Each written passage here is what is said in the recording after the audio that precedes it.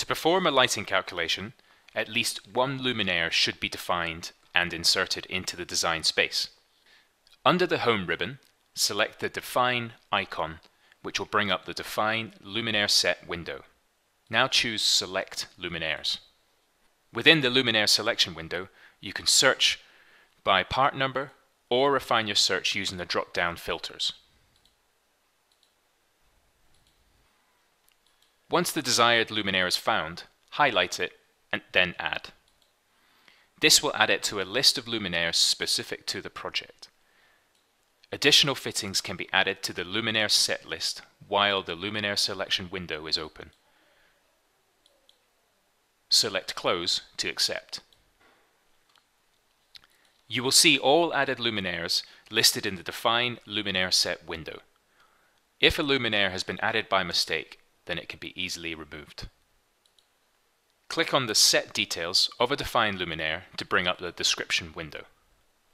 Within this window, you can set the mounting height,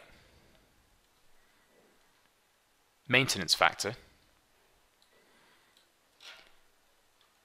and the relevant power modes that that luminaire will operate under.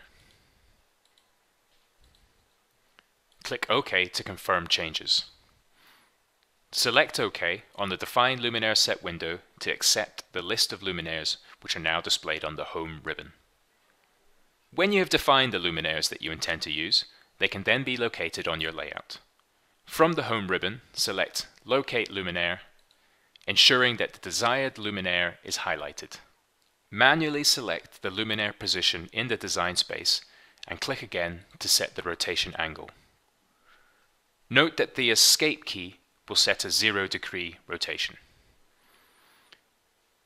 Further luminaires can be added to the project with consecutive clicks while in this mode.